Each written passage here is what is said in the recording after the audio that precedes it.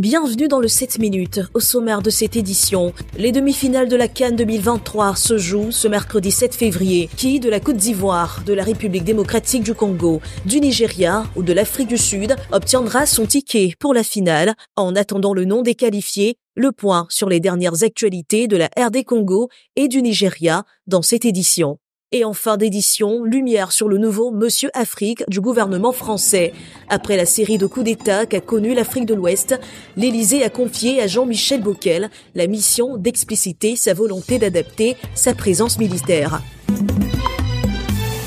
Tout partait d'un esprit de solidarité. Face à la Côte d'Ivoire, les léopards du Congo souhaitaient porter un brassard noir. La cause, les massacres perpétrés à Goma, ville située à l'est de la RDC, par la ministre rebelle M23. Une décision que la FECOFA, Fédération congolaise de football, a officialisée via un communiqué publié sur ses réseaux sociaux le 6 février. Une requête a également été déposée auprès de la Confédération africaine de football le même jour. La CAF a dans la foulée répondu à ce souhait par la négative. Mais selon plusieurs sources concordantes, l'instance africaine du football se serait finalement ravisée pour des raisons d'ordre humanitaire. Jouera, ne jouera pas, la question a finalement été tranchée. Au cœur de spéculation à la suite de son malaise abdominal, Victor Ossinem devrait bel et bien participer à la rencontre des Super Eagles face au Bafana Bafana sud-africain à Boaké. Le ballon d'or africain 2023 a en effet été aperçu à l'entraînement, de quoi soulager son équipe qui, selon les dires de leur sélectionneur, José Pesero, se prépare à une rencontre difficile aux airs de déjà vu. Lors de la Cannes 2000 organisée conjointement par le Ghana et le Nigeria, ce dernier avait triomphé de 0 face aux Sud-Africains. Les Sud-Africains qui, au cours de cette compétition, n'ont connu qu'une seule défaite face au Mali à l'occasion de leur premier match de poule. C'est l'une des zones les plus pluvieuses de la commune d'Abidjan, avec sa moyenne de précipitation de 1466,4 mm. À Bobo, et plus particulièrement Dautré, s'est doté d'un important système de drainage des eaux pluviales de 7 km, un acquis qu'il faut néanmoins consolider. Nous sommes très heureux de recevoir euh, toute cette forte délégation ici, dans le cadre de l'achèvement d'un ouvrage qui permettra certainement aux populations d'Abobo et singulièrement aux populations de Ndotré de vivre dans de meilleures conditions, de vivre en toute sécurité. C'est un ouvrage euh, euh, qui est très important pour cette partie d'Abobo parce que vous savez que Abobo est une commune euh, qui a une pluviométrie très élevée, donc où il pleut beaucoup.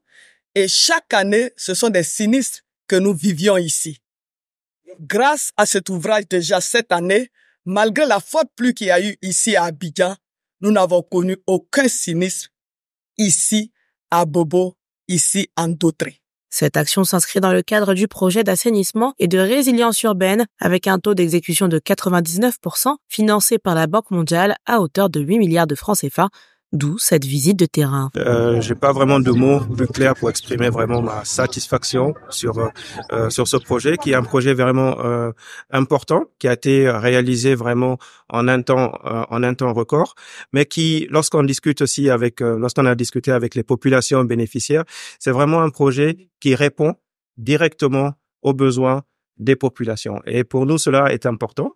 Madame la maire a dit, la, le, sujet, c'est vraiment améliorer les conditions de vie des populations. Et ce que l'on voit ensuite sur la qualité de, de cette infrastructure, l'impact immédiat déjà qui a été qui a été rappelé, la réduction, même l'arrêt de, de certaines situations, mortalité notamment, mais aussi amélioration de la qualité euh, de l'environnement. D'autres communes du pays sont visées par le projet. Euh, très important pour la Côte d'Ivoire, naturellement pour Abobo, euh, Madame le maire, quand elle a été élue, elle nous a exprimé la grande ambition de faire d'Abobo une cité où il fait bon vivre. Elle a même dit, c'est encore plus grand que les gens vont déménager de Cocody pour venir habiter à Bobo. C'est ça notre objectif. Et le président nous a dit à chacun des ministres du gouvernement de faire ce qui sa part pour donner un corps à cette ambition, euh, Madame le maire. C'est ce que nous faisons pour en ce qui nous concerne. 155 milliards de francs CFA, c'est le montant global de mise en œuvre du PARU. Déployé sur six ans, il vise à faire face aux risques d'inondation et à améliorer la gestion des déchets solides dans les villes.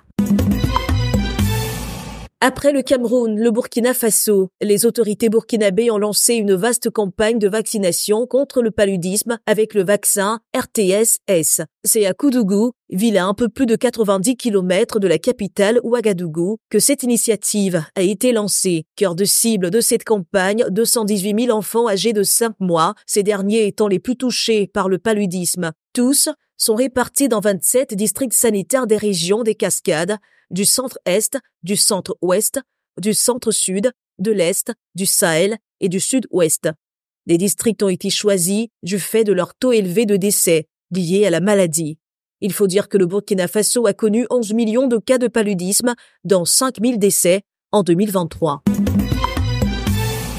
Jean-Marie Bockel, tel est le nom du nouvel envoyé personnel d'Emmanuel Macron en Afrique. Ancien secrétaire d'État à la coopération du président Nicolas Sarkozy, Bockel aura pour mission d'expliciter la volonté de Paris d'adapter sa présence militaire sur le continent, notamment en termes de formation, de coopération et d'équipement au Sénégal en Côte d'Ivoire, au Gabon et au Tchad, ces quatre pays accueillant des bases militaires françaises. Jean-Marie Bockel est désormais l'envoyé personnel d'Emmanuel Macron en Afrique. Jean-Marie Bockel devra rendre à l'Élysée ses recommandations en juillet. 16 ans plus tôt, en mars 2008, Jean-Michel Bockel avait dû abandonner son portefeuille à la coopération pour avoir dénoncé la France-Afrique, un système qui, selon ses dires, relève de la corruption, de la cooptation politique et de chasse gardée commerciale entre Paris et ses anciennes colonies africaines.